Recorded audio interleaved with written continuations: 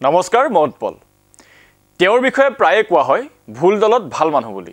সংসদত ভিতৰত বা বাহিৰত শাসকৰ আসনত বা বিৰোধীৰ আসনত আত্মপক্ষৰ সমৰ্থনত বা প্ৰতিপক্ষৰ আক্ৰমণত তেওঁৰ যি শালীনতা বা শব্দ নিৰ্বাচনৰ যি সাধনতা সেয়া ভাৰতীয় ৰাজনীতিত আজিও বিৰল।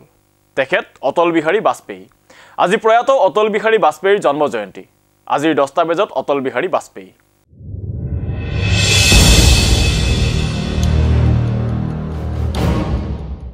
নৰেন্দ্ৰ মোদীৰ নেতৃত্বত সমগ্ৰ দেশৰ জনতাৰ নিৰংকুশ আস্থালৈ বিজেপি দ্বিতীয়বাৰৰ বাবে শাসনলৈ আহিল দুহেজাৰ ঊনৈছ চনত। কিন্তু দেশৰ ৰাজনীতিত এতিয়াও ধাৰণা আছে যে বিজেপিয়ে লাভ নকৰে দেশৰ মুছলমানৰ ভোট। কিন্তু সেই একেটা দলতেই এগৰাকী নেতা আছিল যিয়ে সহজেই সোমাব পাৰিছিল মুছলমানৰ মাজত আৰু সংখ্যালঘু সমাজেও বিশ্বাসত লৈছিল তেখেতক। তেখেতেই আছিল বাজপেয়ী। অটল বিহাৰী বাজপেয়ীক নিৰ্বাচনত সমৰ্থন দিবৰ বাবেই মুছলমান সমাজৰ মাজত গঠন হৈছিল এখন বিশেষ মঞ্চ। অটল বিহাৰী বাজপেয়ী হিমায়ত কমিটি। পঁচিছ মাৰ্চ দুহেজাৰ চাৰিৰ ঘটনা এয়া দিল্লী ফিক্কিঅ' অডিটৰিয়ামত অনুষ্ঠিত হৈছিল এখন বিশেষ সভা। সভাৰ উদ্দেশ্য আছিল পৰৱৰ্তী নিৰ্বাচনত বাজপেয়ীৰ বাবে মুছলমান সমাজৰ সমৰ্থন যোগাৰ কৰা। এই বৈঠকতে গঠন কৰা হৈছিল অটল বিহাৰী বাজপেয়ী হিমায়ত কমিটি। যাক চমুকৈ কোৱা হৈছিল অটল হিমায়ত কমিটি বুলি। এই কমিটিৰ সংযোজক আছিল খাজা ইফতিকাৰ আহমেদ। দলীয় সীমাৰ ঊৰ্ধত এনেদৰেই অটল বিহাৰী বাজপেয়ীয়ে অৰ্জন কৰিছিল সংখ্যালঘু সমাজৰ আস্থা। সংখ্যালঘু সমাজত বিজেপি বিৰোধিতাৰ মাজতো তেখেতৰ ছবি আছিল ভুল দলত থকা ভাল মানুহ হিচাপে। কেৱল সেয়াই নহয় সহযোগী দলসমূহৰ বাবেও বিজেপিৰ একমাত্ৰ আস্থাৰ পাত্ৰ আছিল অটল বিহাৰী বাজপেয়ী। বিৰান্নব্বৈৰ আদৱানীৰ ৰথযাত্ৰা আৰু বাবৰি মছজিদ ধ্বংসৰ ঘটনাই যদিও বিজেপিৰ সাংগঠনিক শক্তি আৰু সমৰ্থকৰ সংখ্যা বঢ়াইছিল একেদৰেই কিন্তু এই ঘটনাই বিজেপিৰ ভীতিও বঢ়াইছিল। সেয়ে পৰৱৰ্তী কালত যেতিয়া এন ডি এ মিত্ৰজোঁট অহাৰ পৰিস্থিতি তৈয়াৰ হৈছিল তেতিয়া আদৱানীৰ জনপ্ৰিয়তা আৰু সংঘ পৰিয়ালৰ সৈতে থকা সম্পৰ্ককো চেৰ পেলাই প্ৰধানমন্ত্ৰী পদৰ বাবে উচ্চাৰণ হ'ল এটাই নাম অটল বিহাৰী বাজপেয়ী। কঠোৰ হিন্দুত্ববাদী লালকৃষ্ণ আদৱানীৰ সলনি চৌবিছটা সহযোগী দলে অটল বিহাৰী বাজপেয়ীৰ ৰূপত ভুল দলত বিচাৰি পালে এজন ভাল মানুহক। শব্দৰ সঠিক উপস্থাপন আৰু শালীন ভাষাৰে বিপক্ষক সন্মুখিত কৰি ৰাখিছিল বাজপেয়ীয়ে। সময়ত বিপক্ষক প্ৰশংসা কৰিবলৈকো পাহৰা নাছিল বাজপেয়ীয়ে।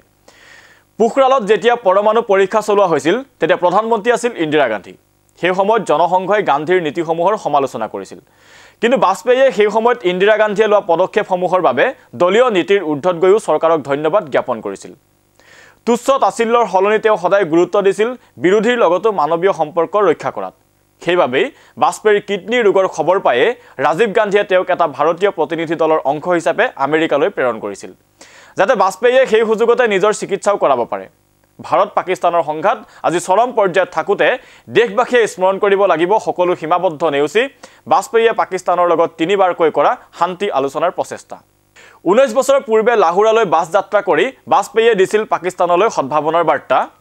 পাকিস্তানৰ ভূমিত থিয় হৈ কৈছিল এখন সমৃদ্ধিশালী পাকিস্তানহে ভাৰতৰ কাম্য। যুদ্ধ নহয় শান্তি আৰু সমন্বয়ৰ পক্ষত আছিল বাজপেয়ী।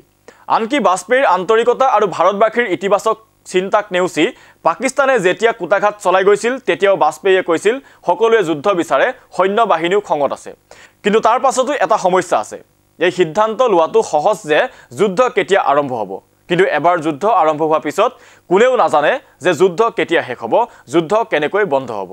গতিকে এই সিদ্ধান্ত নেতাসকলেই ল'ব পাৰিব।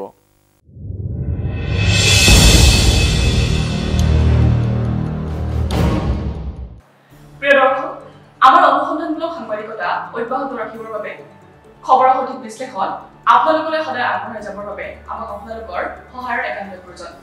আৰ্থিকভাৱে আমাক সহায় কৰিবৰ বাবে আমাৰ ফেচবুক পেজত থকা ছাবস্ক্ৰাইব বাটনটো ক্লিক কৰক আৰু সংবাদ মাধ্যমক স্বতন্ত্ৰ কৰি ৰখাত সহায় কৰক। ধন্যবাদ।